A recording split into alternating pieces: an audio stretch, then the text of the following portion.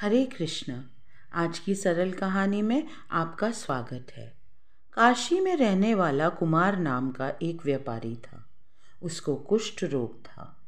दुखी हो वो सोचने लगा कि पत्नी, बच्चे, व्यापार, पैसा, इन सब का क्या फ़ायदा, जब स्वास्थ्य ही नहीं है।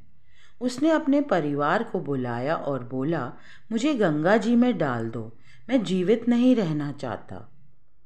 पिता की ये बात सुन, बच्चे पहले तो नहीं माने, परंतु उनकी पीड़ा देख बाद में मान गए। भारी मन से तैयारी करी और सर और पैर पर मटका बांधने के लिए लाए। उसी समय कबीरदास जी का एक शिष्य, पद्मनाभन, ये सब कुछ देख रहा था और उसने पूछा कि क्या कर रहे हो? बच्चों ने पूरी बात सुनाई। पद्मनाभन बोला, मुझे एक बार अपने पिताजी से मिलने दो।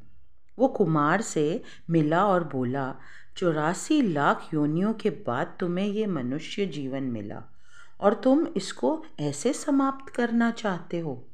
कुमार बोला, मैं क्या करूँ? मैं अपने रोग से दुखी हूँ। पद्मनाभन बोला, एक बार, राम नाम का जाप हृदय की गहराइयों से और विश्वास से करो।